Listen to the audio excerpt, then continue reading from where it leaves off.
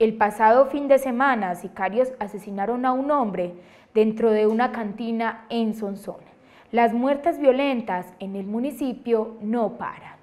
Un reciente hecho de violencia impactó al municipio de Sonsón. Un hombre de 26 años, identificado como Leandro Naranjo Orozco, recibió varios disparos dentro de un establecimiento comercial ubicado en el sector El Chispero del área urbana. Según fuentes oficiales, el crimen tuvo lugar mientras la víctima estaba en una cantina. Inesperadamente, un individuo de identidad no confirmada irrumpió en el recinto y efectuó cinco disparos contra Naranjo Orozco. Tras el ataque, el agresor huyó del lugar con rumbo desconocido. A pesar de la rápida atención médica, la víctima falleció debido a la gravedad de las heridas. Con este caso, son 11 crímenes que ya se han registrado en Sonsón en lo que va corrido del año, lo que genera gran preocupación entre los habitantes. Las autoridades locales han iniciado las investigaciones correspondientes para identificar al responsable del crimen y determinar los móviles del mismo.